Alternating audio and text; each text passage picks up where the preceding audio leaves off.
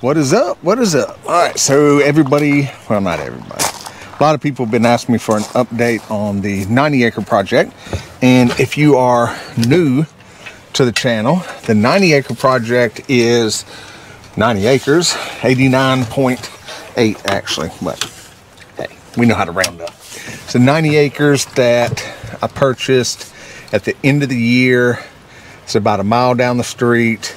I divided it up. We took 90 acres, but I don't, I don't like to do all the little postage stamp lots. 90 acres divided into 10 lots, ranging from five acres to 20 acres. Actually, almost 21 acres. So we've sold a lot of it right away. Uh, what we've got left is that we have this on either side of the street, and you might have seen Chris's, Chris's video by now, but six lots on the north side and five lots on the south side. So on the north side, we sold lot one, two, three, and five. We're getting ready to go into contract on six. That's the one that he put the pond on, the small pond on. Lot four has been under contract two different times. The first time they ended up backing out because they wanted bigger trees.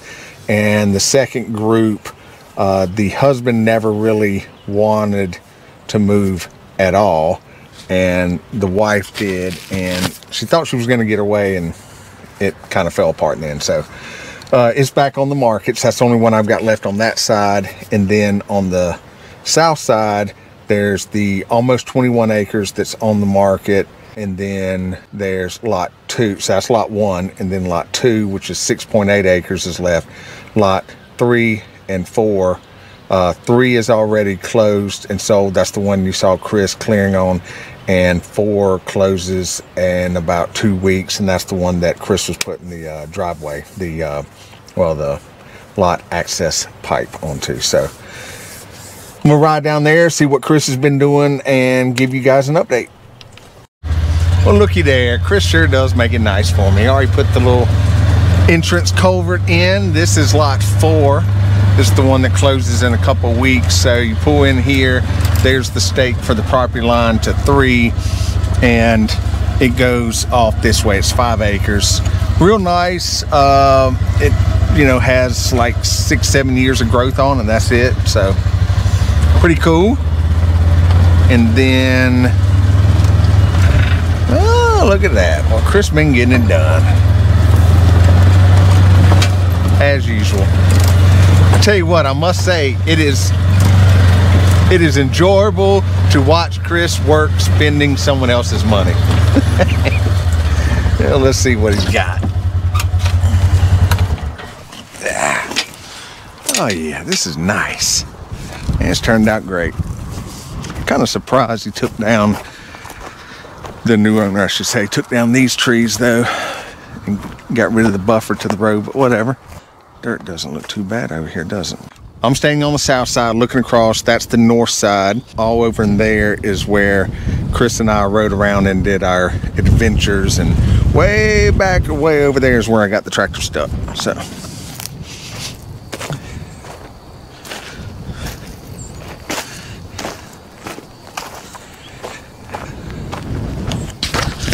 These are some really nice tracts of land. I would have loved to actually held on to some, which I may still, we'll see what happens, but for the, uh, maybe for the kids in the future too, but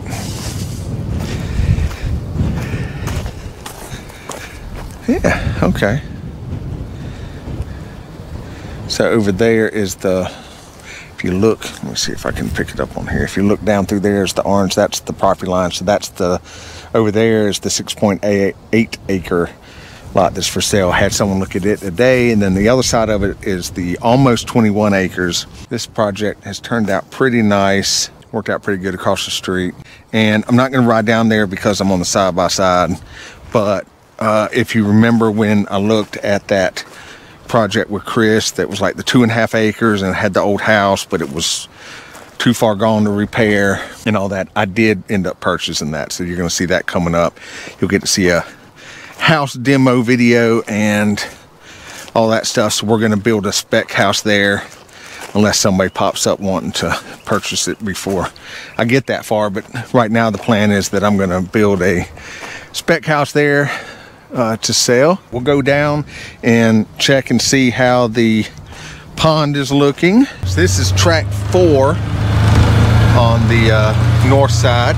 So it goes off this way. It goes all the way back to, you know, there's the short little trees, then there's a little bit tree, and there's real big trees. It goes back to the big trees. So, yeah. See, this is where, uh, man, has it been a couple months already? Probably close to it. When Kyle was out of here, was out here while Chris was on vacation and uh, I had him clear back in here some because this was all you know the thorny briars and crap. So I wanted to kind of get an idea of you know what you could do here. So you could build a little further back and do a basement house or you could even do a basement up a little closer to or of course you got plenty of room up here to build. So it's nice. Don't expect it will last much longer. There's the pond that Chris put in.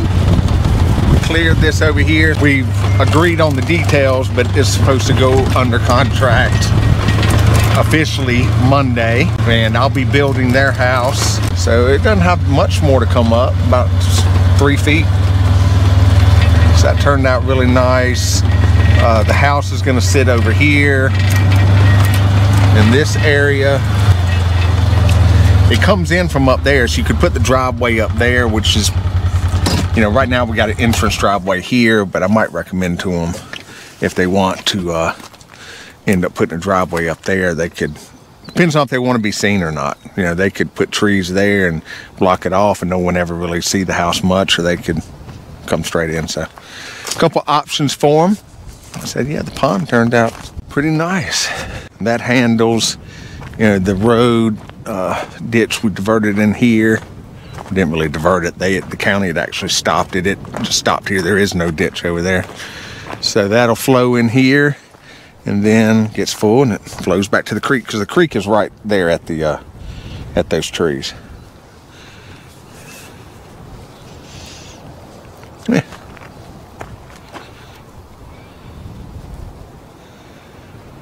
Sure is nice out here. That was quiet. I'm on the lookout. So, you know, a lot of people, usually when big tracts of land come up for sale, it's either been inherited or, you know, people just can't hold on to it anymore or whatever. But uh, I like doing deals. I did not on this one, we didn't do it, but I like doing deals where I'm kind of working with the landowners too. So if you've got some property, you're out here, you need to make some money, you want to sell it, but you don't necessarily want to get it see it get turned into uh, a whole bunch of little postage stamp size places. Hit me up you know i can uh, probably make you more money long term than uh, what you would uh, get anyway but a couple tracks we're looking at. There's not a lot right now. Not here. You have to go about 15 more minutes further away from Raleigh right now to get anything big uh, Chris has been working out there some on some projects, but it's not really anything that uh, interests me at this time. I did look at that uh, 100, what was it, 110? 110, 130 acres, whatever it was I looked at with y'all.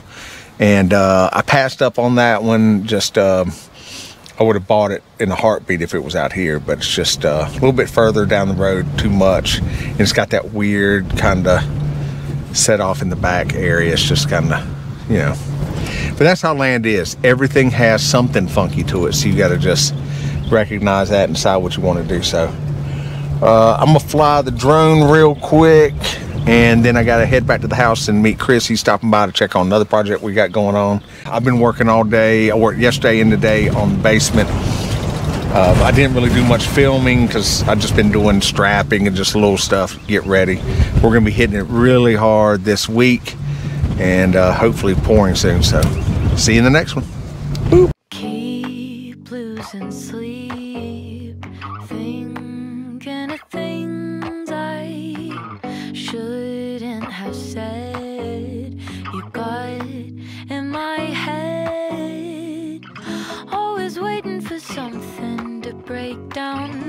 I'm safer with my head in the clouds. Keep it all in my mind as I leave you behind. I wish I could be careless with or without